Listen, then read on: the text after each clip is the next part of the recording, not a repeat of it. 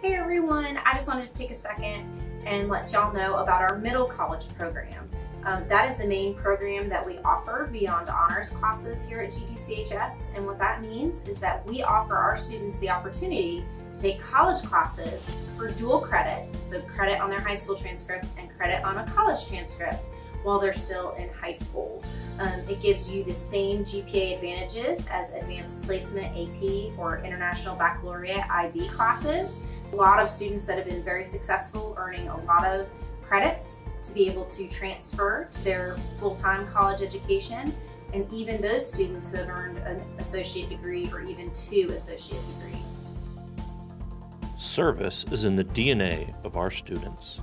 In connection with Martin Luther King Day, GTCHS celebrates Serve Day, when our entire student body goes out into the community to do service projects. Last year, our students helped clean the Reedy River, stocked food at Harvest Food Bank, provided yard work for Serenity Place, and so much more. Our students get things done. Every student at GTCHS is required to earn 200 service hours, 50 hours a year, before they graduate.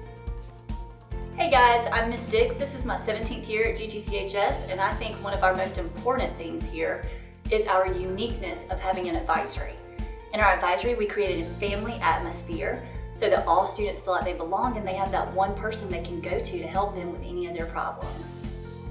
Let's talk about uniforms. So uniforms are the great equalizer. So no one can tell if you're rich or you're poor based on your uniform because we all look the same and everyone's up on the khaki and navy fashion trend. Uniforms keep us safe on the college campus and they identify us as the high school students. Who has the time to pick out an outfit in the morning? I don't. What's also good about the uniform is you now have a pair of khaki pants that are perfect for semi-formal occasions. If I want to make a good impression, I just get my khaki pants from my uniform and put on a nice shirt or blouse. Impression made. Hi, I'm Ken Gillespie. I'm the director of the GTCHS Smart Center. Smart Center offers a safe place for students to come and get their work done every afternoon, Monday through Thursday until 5.45 p.m. The aviation program here at GTCHS really has been a success story. What started as an after-school drone club became an elective and is now turned into a full four-year program. The goal of the program is to provide industry-recognized credentials for private pilot, commercial drone pilot, or aircraft mechanic.